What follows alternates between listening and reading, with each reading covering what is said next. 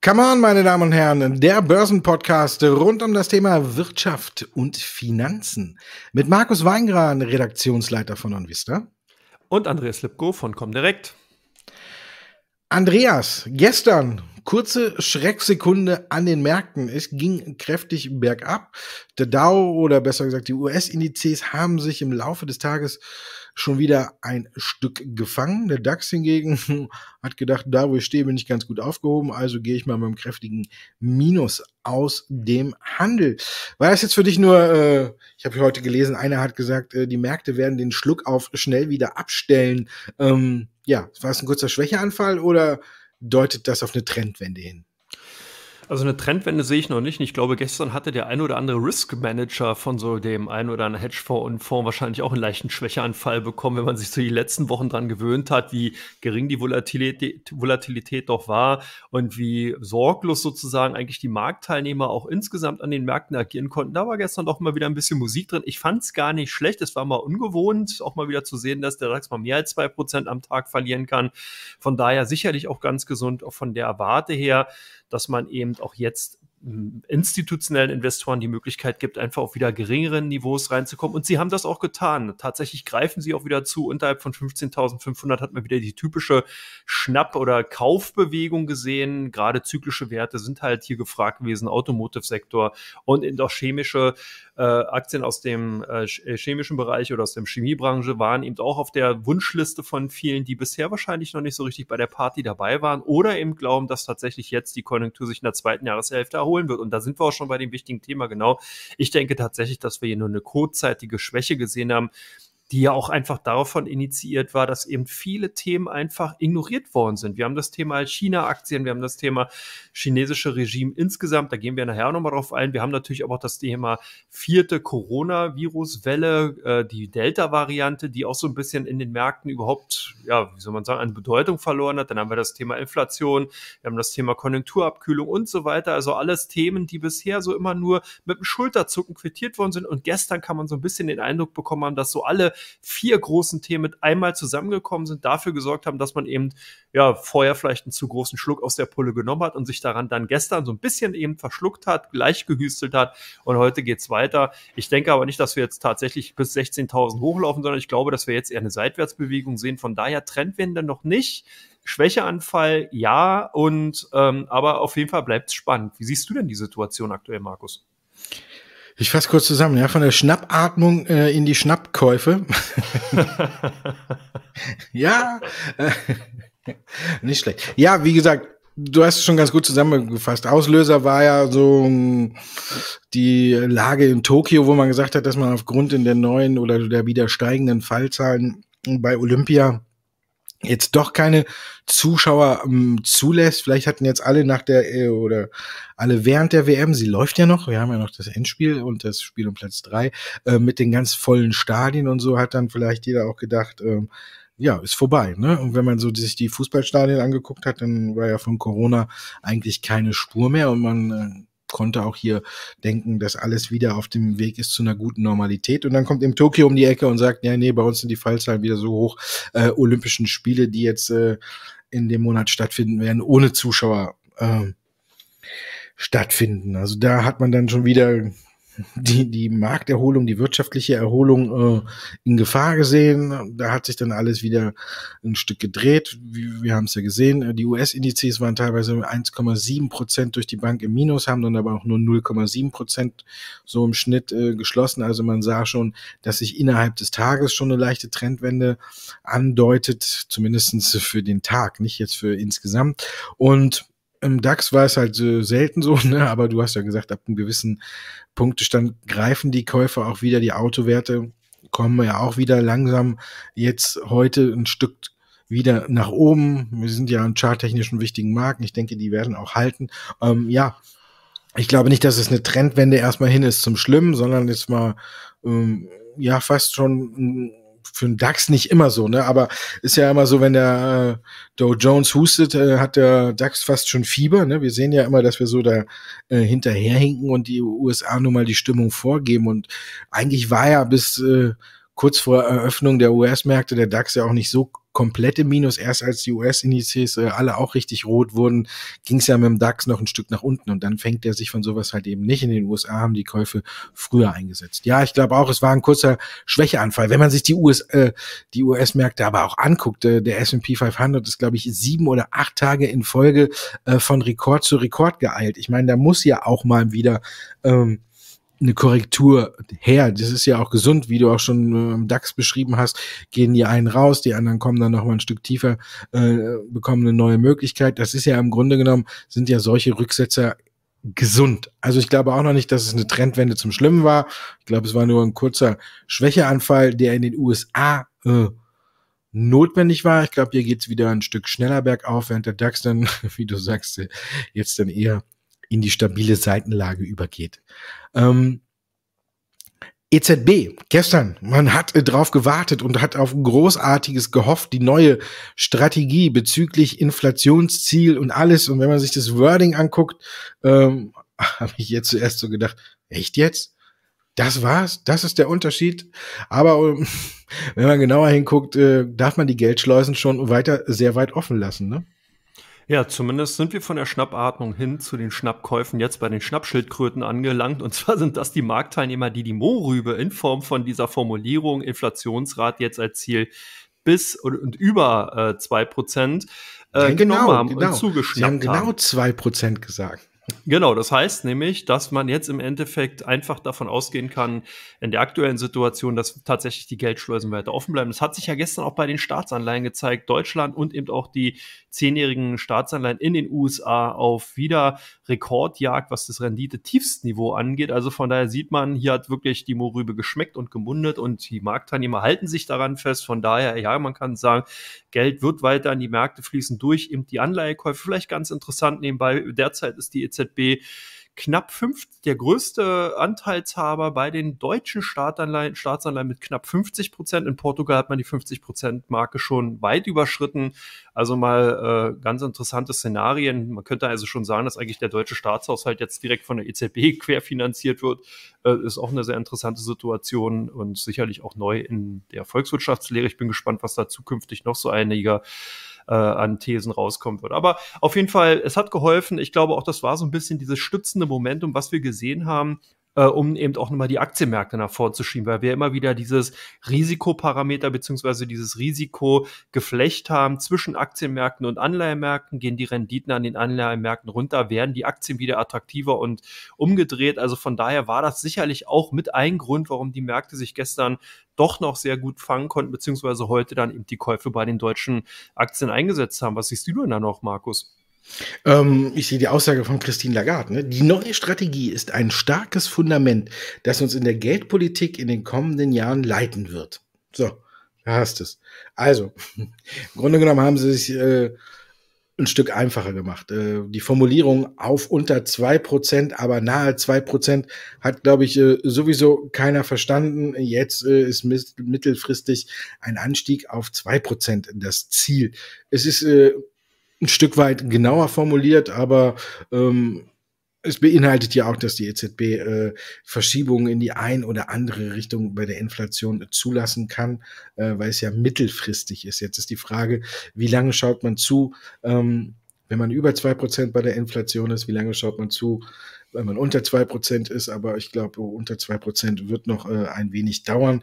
Wie du schon sagtest, es ist ja, es war eine irgendwo auch eine Beruhigungspille und unterm Strich war das Wichtigste halt eben, dass äh, die EZB gesagt hatte, die Geldschleusen bleiben weiter offen. Im Grunde genommen wollten das die Leute hören, auch wenn man hier gesagt hat, man überprüft das alles nochmal und äh, PEP wird wahrscheinlich auslaufen, aber oder auslaufen im März, kommen Ende des äh, nächsten Jahres. Aber bis dahin ist jetzt äh, weiterhin alles so wie gehabt und ist quasi erstmal ein Freifahrtschein für das zweite Quartal. Und das haben die Anleger fröhlich aufgenommen heute. Ähm, zum Teil ist es eine Erholung von gestern, wie du schon sagtest, mit äh, Schnäppchenkäufen. Zum Teil stocken vielleicht andere auch ein Stück weit auf. China-Aktien, ob man da aufstocken sollte. so, ähm, die Würdest du die jetzt noch im Depot halten?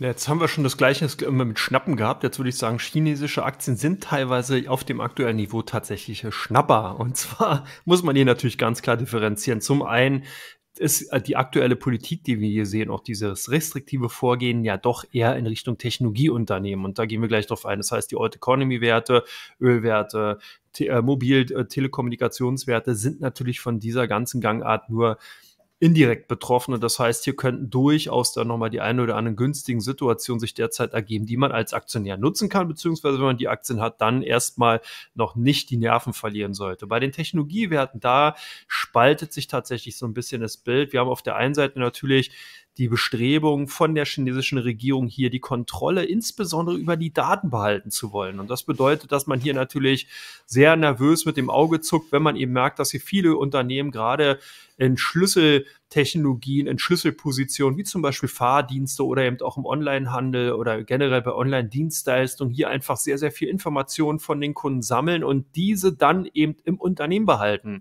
China hat hier ganz andere Ansprüche. China möchte eben, dass das Volk insgesamt stark kontrollieren, eben auch natürlich auch die Hoheit über die Daten haben. Deswegen merkt man, dass hier nicht nur der Knüppel in, das, in die Speichen geworfen wird, sondern mittlerweile ist man schon dabei, die Flexo und das Fahrrad auseinanderzunehmen.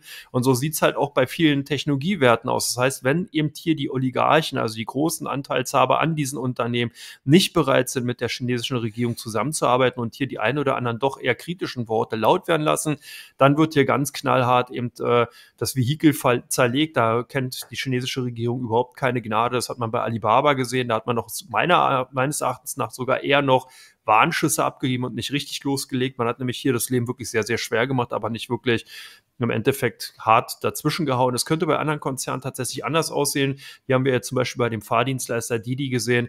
Da nimmt man einfach die App runter und damit ist eigentlich die Geschäftsgrundlage erstmal entzogen worden und das kurz nach dem IPO. Das ist schon mal eine Ansage. Also man sieht schon, hier wird wirklich mit harten Bandagen gekämpft und man muss dann, wenn man als Investor, und das ist glaube ich jetzt die wichtige Aussage, vorhat, in chinesischen Technologiewerten zu investieren oder bereits getan hat, dann hat, hat man diese politische Komponente eh immer auf der Agenda haben müssen. Es ist einfach ein ganz klarer Risiko Risikofaktor. Will man das zukünftig tun, muss man das eben auf der Agenda haben. Und ich denke, hier muss man einfach gucken, wie linientreu, so nenne ich es jetzt mal, sind denn eben die Unternehmenslenker?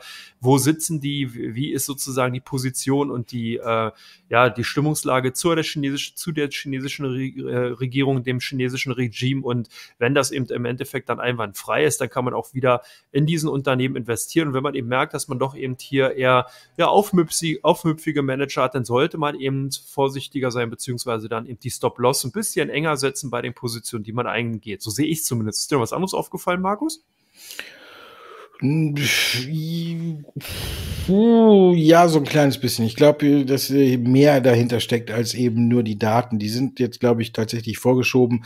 Wir wissen ja, dass auch die USA Gesetze erlassen hat, dass demnächst, äh, ja, in zweieinhalb Jahren ungefähr, äh, sich chinesische Unternehmen, äh, die an der Wall Street oder Nasdaq gelistet sind, ähm, den Bilanzierungsregeln und den Einblickregeln äh, dort äh, unterwerfen müssen. Ich glaube, die Daten sind so ein kleines Stück vorgeschoben. Ich glaube, China möchte dass äh, die eigene Börse stärken. Wir möchten nicht mehr, dass äh, die großen Börsengänge äh, tatsächlich äh, in den USA stattfinden, sondern dass die äh, im eigenen Land gefeiert werden.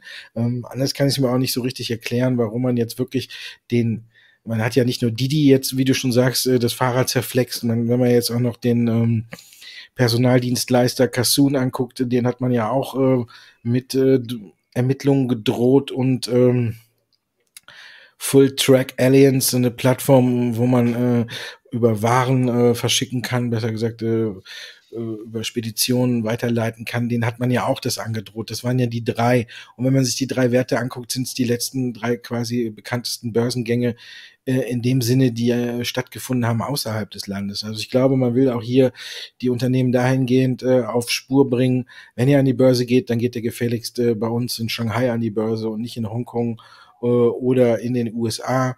Ähm, ich glaube, das ist auch so ein Stück weit dahinter und das mit den Daten ist auch klar. Aber ich glaube, das äh, ist nicht so das hauptbestimmende Thema. Wenn China die Daten nicht rausrücken will, dann werden die auch nicht rausgerückt. Und ich glaube, da können sich die Unternehmen querstellen, wie man will. Man muss jetzt tatsächlich sehen, wie du schon auch sagtest, ich glaube nicht, dass die, das ganze Hickhack eben das operative Geschäft von den chinesischen Unternehmen jetzt so extrem belastet. Ich glaube, eine Alibaba wird nicht weniger verkaufen, ob man jetzt auf Jack Ma losgeht oder eben nicht, sondern es geht ja darum, tatsächlich, wie du sagtest, äh, die ganzen Firmenlenker Richtung Peking einzunorden, dass man da auf äh, äh, Parteilinie bleibt und ähm, es wird mit Sicherheit die operativen Geschäfte nicht äh, belasten. Was ich aber glaube, ist, dass es für viele auch große institutionelle Anleger aktuell zu heiß ist, in China-Aktien äh, zu investieren, weil eben hier, wie du schon sagtest, nicht äh, das operative Geschäft äh, die Aktienentwicklung bestimmt, sondern eben die Schlagzeilen aus den chinesischen Zeitungen oder das, was die Cyberbehörde da jetzt macht. Auf der anderen Seite hat man jetzt auch noch gesagt, dass man es erschwert, ausländischen Investoren in äh, chinesische Firmen zu investieren. Also da ist auch ein neues Gesetz, was auch jetzt nicht ganz neu ist, aber ist auch auf dem Weg. Es soll natürlich nur verstärkt kontrolliert werden. Das hört sich dann äh, immer äh, neutraler an, was der Hintergrund ist das kann sich jeder selber denken. Und deswegen würde ich äh, aktuell äh, nicht bei vielen chinesischen Aktien tatsächlich einsteigen. Wir sehen jetzt auch, ähm, dass die Autowerte hm, damit reingezogen worden sind. Durch die Bank haben eigentlich alle gelitten. Auch eine Tencent Music, die ja auch viele Daten sammelt, ist äh, extrem abgestraft worden, weil es vielleicht das nächste Ziel werden könne, könnte. Jetzt haben wir dann die Schlagzeilen. Wir haben dann noch einen chinesischen Automarkt, der leicht rückläufig ist. Äh, im Vergleich zum Vormonat. Äh, und ich glaube, die Gemengenlage ist zurzeit so heiß, dass man wirklich, wenn man noch investiert ist, viel, viel, viel Geduld braucht, damit da noch was draus werden kann. Ich glaube, aktuell finde ich, ist die Lage zu heiß. Aber natürlich kommen wir jetzt wieder auf Niveaus, wenn man sich die ganzen Aktien anguckt, oder besser gesagt die Charts, wo es einem extrem in den Fingern juckt. Aber ob da tatsächlich schon jetzt man Entwarnung geben kann oder ob China weiter äh, nachlegt und hier weiter äh, zuschlägt und den Unternehmen quasi das Leben an der Börse schwer macht. Ich glaube, operativ, wie gesagt, können sie es nicht, aber sie machen ihnen einfach eben nur das Leben an der Börse schwer. Und das ist für viele Anleger und auch für viele große institutionelle Anleger ja auch schließlich das äh, Brot- und Buttergeschäft. Und ob die dann in die Aktien noch reingehen, ich äh, wage es zu bezweifeln. Also wenn man viel Geduld hat, kann man das vielleicht noch machen. Aber ansonsten würde ich aktuell äh, das Ganze vom Spielfeldrand beobachten, um es mal in äh, EM-Jargon zu formulieren. Wir kommen zu Teil zwei. Ihre Fragen, unsere Antworten.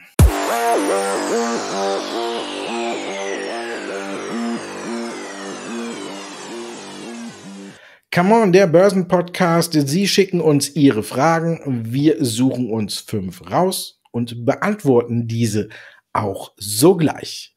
Erste Frage, Shell, die Ölpreise haben in dieser Woche deutlich nachgegeben. Aktie wieder rausschmeißen?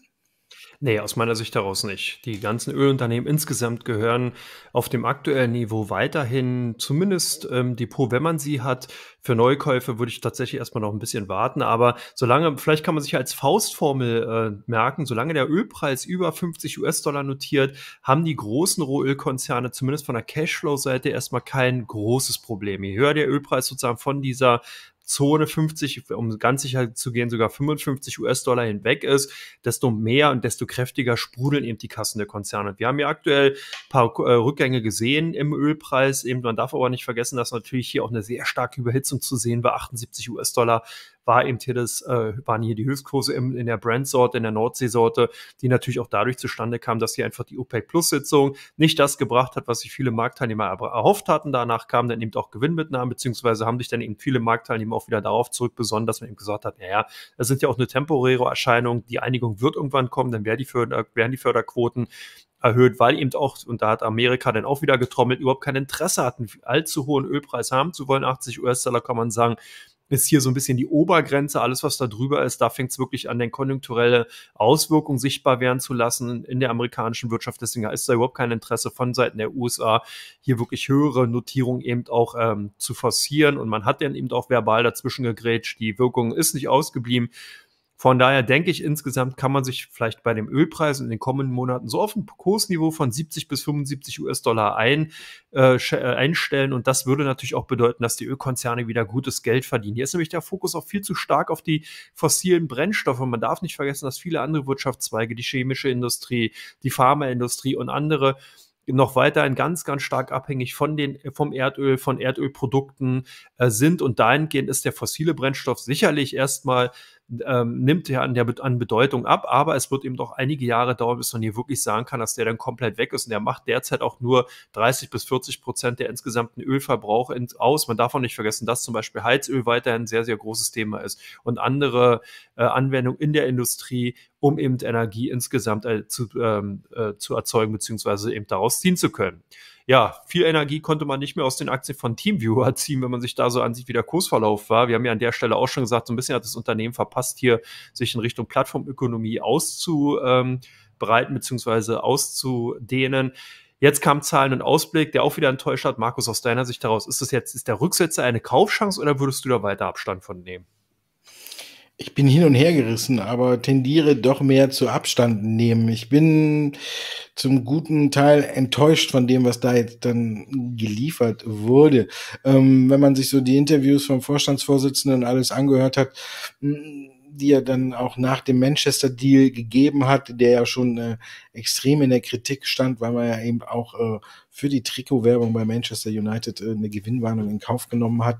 Ähm, habe ich gedacht, es ist tatsächlich ein wenig besser bestellt um das Unternehmen. Dann kam auch noch ähm, die neue Kooperation mit SAP, äh, wo man im Bereich äh, Augmented Reality äh, zusammenarbeitet, wo TeamViewer wirklich auch eine gute Plattform hat, die tatsächlich auch schon von vielen Großkunden genutzt wird. Ähm, da habe ich äh, auch darauf spekuliert, dass wir wieder bessere Zeiten bei Teamviewer sehen und dass sich die Aktie auch wieder erholt. Und dann kamen eben äh, Zahlen und Ausblick.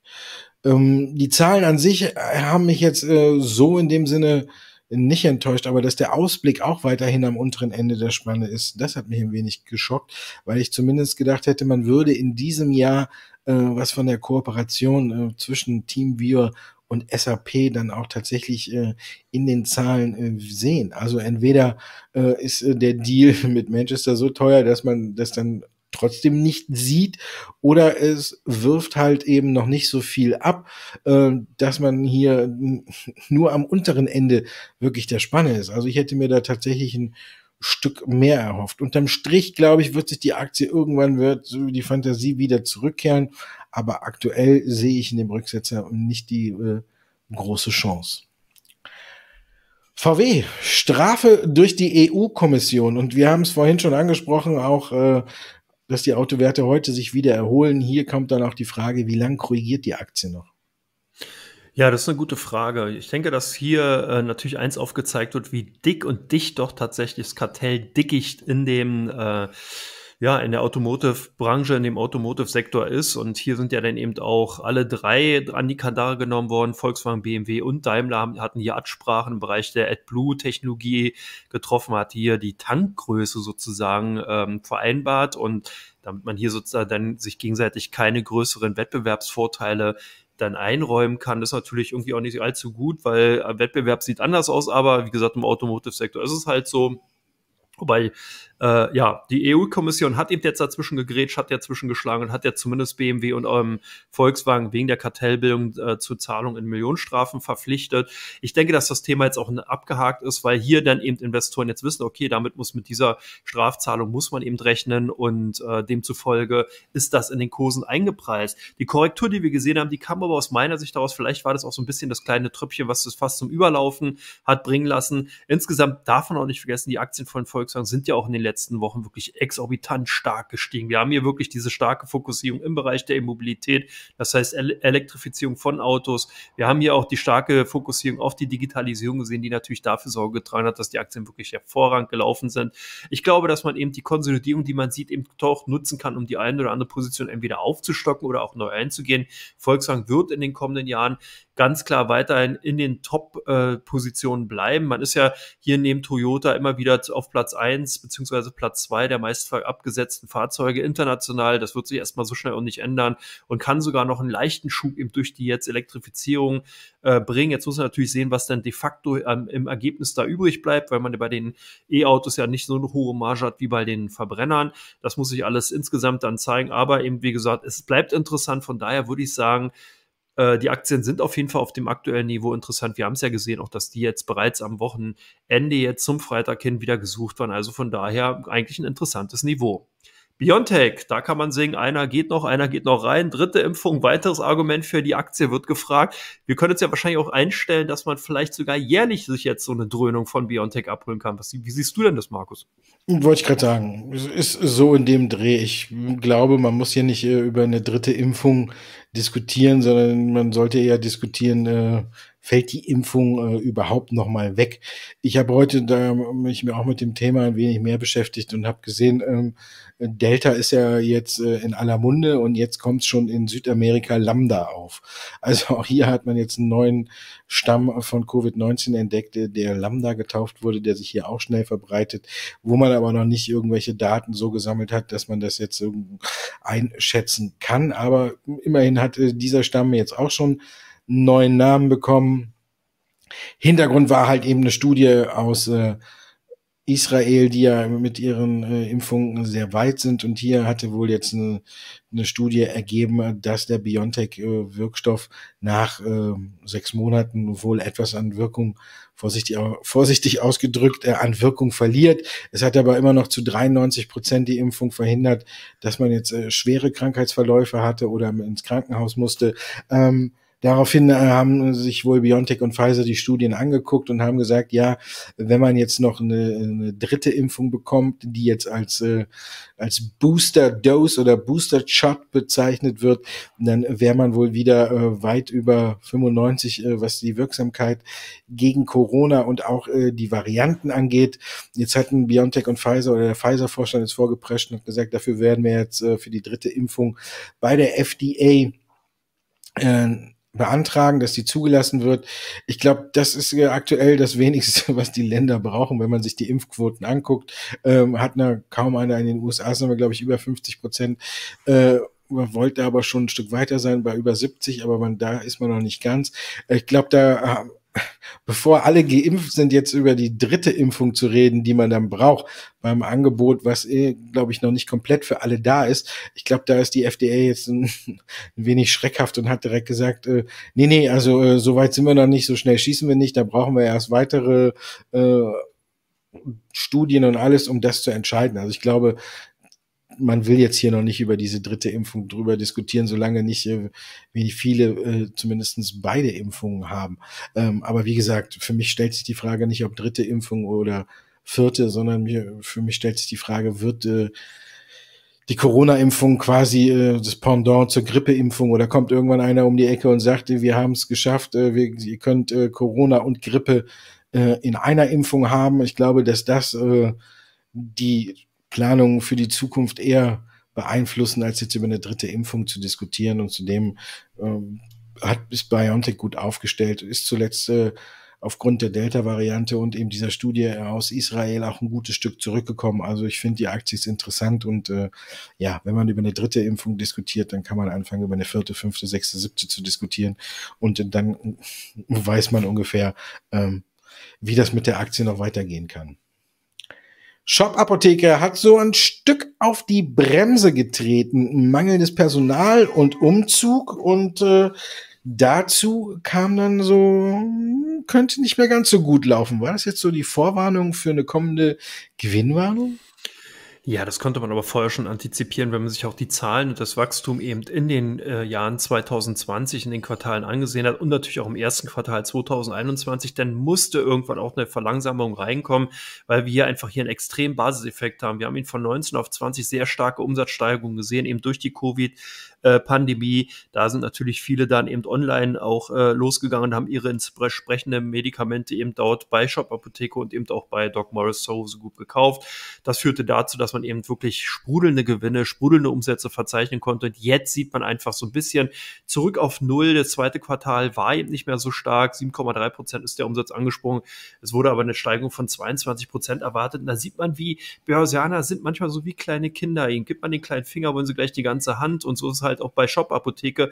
Ich glaube aber, dass hier nach wie vor eins ganz wichtig ist. Man muss, wenn man sich eben mit den Online-Apotheken oder Online-Pharmahändlern eben auseinandersetzt, ganz klar auf das Thema E-Rezept gucken. Solange das nicht in den äh, in der Umsetzung ist, solange hier nicht hier sozusagen die Bahn frei ist, dass man eben auch verschreibungspflichtige Medikamente nachhaltig dann eben in diesen Online-Stores von Shop Apotheke beziehungsweise dann dort Morris kaufen kann. Da ist für mich die Story dann noch nicht intakt, weil das ist der Markt, wo eben wirklich die Musik schlägt, wo die Musik spielt. Äh, alle rezeptfreien Medikamente oder Präparate, da ist die Einstiegsbarriere Barriere viel zu gering. Da kann der Amazon schnell reinkommen, da können die anderen großen Online-Händler eh ganz schnell diese Nische mitbesetzen, aber bei den äh, verschreibungspflichtigen Medikamenten und Präparaten sieht es ganz anders aus. Und das ist für mich im Endeffekt die Story, die bei Shop Apotheke ganz klar zu sehen ist und die auch drinne steckt. Das heißt, ja, Gewinnwarnung, denke ich, wird oder war es, ganz klar. Und ich glaube auch, dass hier dann erstmal eine Verlangsamung eintritt. Die Aktien finde ich weiterhin interessant, aber wie gesagt, in der Kombination mit dem E-Rezept. Also das heißt, wenn man sich für die Aktien interessiert, immer mal auch ein bisschen das Thema E-Rezept in Deutschland und Europa auf dem, auf dem Schirm haben. Sobald das dann eben durch ist, dann werden die Aktien wieder interessant. Ja, also wenn ich den in Deutschland angucke, können wir die Aktie eine, ein Jahr mindestens auf die Watchlist setzen. ein Hoch auf den Technologiestandort Deutschland und das E-Rezept. Wir kommen zu Teil 3. Aktien, äh, DIBA und Vista und beide kommen direkt im Fokus stehen.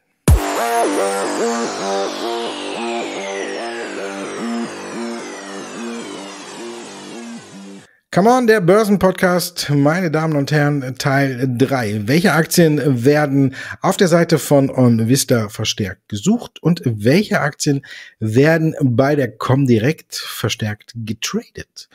Und bei Airbus, nach den Mitteilungen oder Nachrichten heute, kann ich mir ganz gut vorstellen, wohin die Reise geht.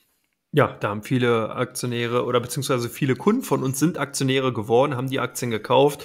Das lag natürlich tatsächlich äh, an den Zahlen, die gestern nach Börsenschluss bekannt gegeben worden sind. Haben auch Analysten dazu veranlasst, hier nochmal ordentlich auf oder in die Trompete zu pusten und eben für die Aktien zu trommeln.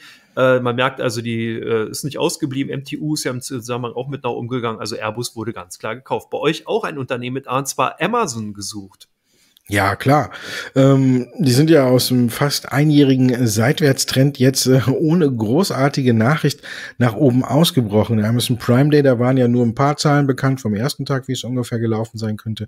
Und jetzt, glaube ich, scheinen einige Anleger darauf zu spekulieren, dass Amazon wirklich wieder mit hervorragenden Zahlen um die Ecke kommt. Deswegen ist man ja über die, ja, so 3500, sage ich mal, über die Marke, über dieses Allzeithoch, ist man jetzt kräftig ausgebrochen. Und da haben natürlich viele bei uns uns geguckt, wieso, weshalb, warum. Und wer die Aktie hat, der sollte nicht gucken, wieso, weshalb, warum. Der sollte sich einfach nur freuen, dass es sie hat. Blackstone Group, was machten Sie da bei euch? Ja, die wird auch gekauft. Nicht zu verwechseln mit der Black Rock Group, mit dem größten Vermögensverwalter. Ein Blackstone ist eine kleine Investmentboutique, eine Investmentgesellschaft aus den USA mit Sitz in New York. Und die haben ihren Fokus eben auf Beteiligung und sind da ganz untriebig. Die sind zum Beispiel auch im Bereich der Blockchain-Technologie unterwegs und haben hier äh, sich zusammengetan und unter anderem mit dem Künstler Jay-Z ähm, hier zugegriffen und sind jetzt eben auch im Bereich der Token beziehungsweise der Collectibles unterwegs und das hat eben einigen Aktionären beziehungsweise einigen ja doch Aktionären oder Marktteilnehmern gefreut. Des Weiteren hat man vor kurzem ein Unternehmen übernommen, was eben im Bereich der ESG-Software unter, äh, unterwegs ist. Das heißt, man bietet hier Unternehmen an, die Kriterien, die eben aus dem ESG-Bereich kommen, eben entsprechend dann mit dieser Software verwalten zu können und zu sehen, ob man eben die Kriterien erfüllt. Das hat eben auch dazu geführt, dass hier ein sehr, sehr hohes Augenmerk auf den Aktien gelegt worden ist und die Kunden entsprechend zugegriffen haben. Bei euch die SAP gesucht gewesen. Ja, hier gab's äh, quasi doppeltes Lob von der Bank of America. Die hat quasi von Underperform auf Buy hochgestuft. Da haben alle jetzt geguckt. Begründung war, man rechnet mit äh, guten Geschäftszahlen. Ähm, hat mich ein wenig verwundert dass die Bank of America jetzt hier tatsächlich so einen mutigen Schritt macht und mit einer doppelten ähm, quasi Erhöhung oder Verdopplung des Votums um die Ecke kommt, hat die Aktie nach oben getrieben. Ich bin da hingegen noch ein wenig skeptisch. Ich habe noch so ein Interview von äh, Ende April, Anfang Mai vom Finanzvorstand Mutic im, äh, im Ohr, besser gesagt im Auge, wo ich hier gelesen habe, dass er gesagt hat, äh, die Wechselkurse haben sich jetzt noch mal schlechter entwickelt als von uns erwartet geplant. Also von daher habe ich gedacht, auch hier ähnlich äh, so durch die Blume gesagt, stellt euch mal darauf ein, dass die Zahlen jetzt nicht ganz so gut werden. Vielleicht hat die Bank of America äh, andere Informationen, ich weiß nicht, aber sie sagen, die Zahlen dürften überraschen und haben deswegen die Aktie doppelt nach oben gestuft. Also ich bin gespannt. Man hat sogar gemunkelt danach, äh, unter anderem, dass vielleicht auch schon Vorabzahlen kommen, aber bislang sind die noch nicht da und ich bin gespannt, wer da am Ende recht hat. Die Bank of America oder ich. Aber auf jeden Fall ändert es auch nichts an der Tatsache, dass SAP eine gute Aktie ist. Sollten die Zahlen tatsächlich nicht so überzeugen, finde ich, dass es eher für die Zukunft eine Chance ist, wenn die Aktie dann nochmal zurücksetzt, als dass man äh, sich dann davon ins Boxhorn jagen lassen sollte. Wir haben ja oft genug die Transformation besprochen, die SAP durchmacht. Ja, und du hast jetzt einen Buchstaben mehr noch, ne? Zwischen das SAP, zwischen S und A haben wir noch ein N und dann sind wir bei Snap. genau, und Snap sind die Aktien, die auch sehr stark gehandelt werden bei den ausländischen äh, Titeln und natürlich zumindest gestern ganz stark auf der Verkaufsseite zu gewinnen gewesen, aber insgesamt kann man sagen, rege Handelsaktivitäten, weil die im Vorfeld auch ganz gut zulegen konnten. Wir haben hier also starke Kurssteigerungen gesehen, gestern dann eben diesen herben Schlag hier, über zehn Prozent haben die Aktien an Kurswert verloren. Am 22. wird Snap Holding, also der, ja, Snap Inc., die Mutter von der Snap-Anwendung, den äh, Communication ähm, oder Messenger-Dienst eben Zahlen vorlegen und da ist man im Vorfeld natürlich schon gespannt, beziehungsweise hat hier viele Mutmaßungen und demzufolge sind die Aktien zumindest erstmal sehr, sehr volatil unterwegs und es darf gespannt gewartet werden, was da tatsächlich kommt. Und last but not least bei euch die Aktien Infineon gesucht. Ja, Infineon ist ja auch einer der Werte, wo man sagt, die so ein bisschen äh, frischen Wind in den DAX reinbringen, ne? weil zumindest ein, ein großer Technologiekonzern und die sind aber jetzt auch zuletzt äh, kräftiger unter die Räder gekommen. Da hat auch jeder nach dem Grund gesucht. Im Grunde genommen gab es eigentlich keinen dafür. Wir haben ja in der vergangenen Woche eigentlich schon gute Zahlen aus der Branche gesehen, wenn man sich eine Micron Technology angeschaut hatte. Die haben ja wirklich sehr gute Zahlen gebracht, äh, sind dafür aber auch ja, bestraft worden.